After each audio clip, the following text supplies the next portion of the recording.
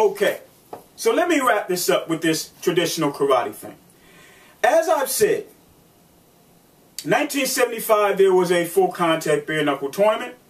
Karate, boxing, Muay Thai, Burmese boxing, Kung Fu, all showed up. All four divisions were won by lightweight, Happy Robot Crump, middleweight, Earl Bennett, light heavyweight, Fred Miller, heavyweight was split between Earl Thompson and David Wells. All of them karate. All right? I also point out the function of the gi. The function of the gi is not to walk around looking deadly. A lot of people wear those paper gis. That's a part of sport karate. That's a part of this mall karate that people like me totally hate. This is a heavyweight gi. This gi right here is heavyweight canvas. Got it? This is a gi. All right, fills with sweat. It can weigh as much as six, seven, eight pounds. Okay? I use this to train people to use this. Okay? Okay, got it? All right, that's what it's for. Now, let's talk about some hypocrisy. I think it's a bit hypocritical for many of you to criticize traditional karate. When a lot of you are falling over yourselves and falling over your televisions and falling over your children and falling over your bookcases and your stereos trying to learn the straight back kick that George, uh, George St. Pierre made so popular. Newsflash. The straight back kick comes from traditional karate. Japanese karate. It comes from traditional karate. Not Muay Thai, not wrestling, not boxing, not Brazilian Jiu-Jitsu. The straight back kick that many of you are trying to emulate, almost knocking yourselves out trying to do it, comes from traditional karate. If you don't believe traditional karate works, then you should not be trying to learn the straight back kick. Okay. Next, Anderson Silva, you may recall, knocked out Victor Belfort or collapsed his knees uh, en route to knocking him out with some punches, I believe, after that, but collapsed his knees with a traditional front kick. A front kick. That is not a Muay Thai kick. So don't try to say it is. Look at how Muay Thai kicks. Look at how uh, Anderson Silva threw his kick. Anderson Silva used a basic front kick that is taught in traditional Japanese karate. Ball of the foot to the chin, front kick. Okay?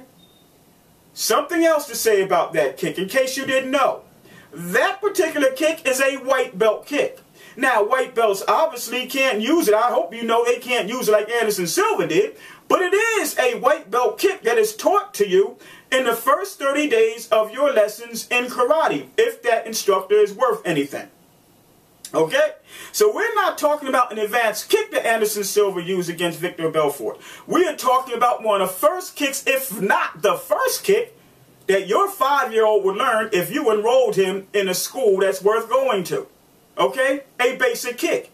If you were trying to use that kick, if you were using that kick in the street, in the cage, just playing, just goofing around, just monkeying around, if you're using that kick, then you need to stop if you think traditional karate is not effective because that essentially comes not only from traditional karate but is a basic kick, one of the first kicks you learn in traditional karate. Okay? So many of you talking about traditional karate and traditional karate is not this. Again, to reiterate, I am talking about karate as it was taught to me in the 60s and the 70s. Okay?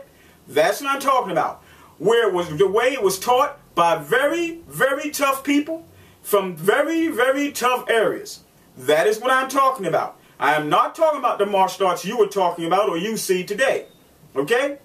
Two, let's understand what the gi is. It is not something that you would just you just love to walk around in to feel deadly. The gi helps you to manipulate clothing. And since most people in most parts of the places, in many parts of the world, at most parts, most times in the year, wear clothes, you need to learn how to manipulate clothes instead of standing up there trading punches back and forth. If you can choke somebody unconscious, why would you be bruising up your hands on somebody's cranium? Okay? Let's also look at when hardcore karate was pitted up against other styles. At times when hardcore karate, that as it was practiced in the 60s and 70s, was pitted up against other styles, most times hardcore karate did win. So, I hope that that will suffice. I hope you get my point. uh, I will be actually doing a, a seminar, uh, God willing, uh, in the uh, before the uh, before the new year, uh, hosted by Black Ninja, and I will be going over mixed martial arts, bouncing techniques, security techniques. Also, I will show people how to manipulate clothing. I will have my gi top on for the last hour of the seminar. Uh, and I will show you who comes with jackets because it, it, will be a little chilly. You come with jackets, I will be showing you uh, the function of the jacket uh, as how it is taught when I have people who have gis. All right? Lastly, I love the mixed martial arts. I don't want you to think I don't love the mixed martial arts. I do teach the mixed martial arts. I have videos where I am supporting the UFC and supporting mixed martial arts. What I am saying is I am not about fads.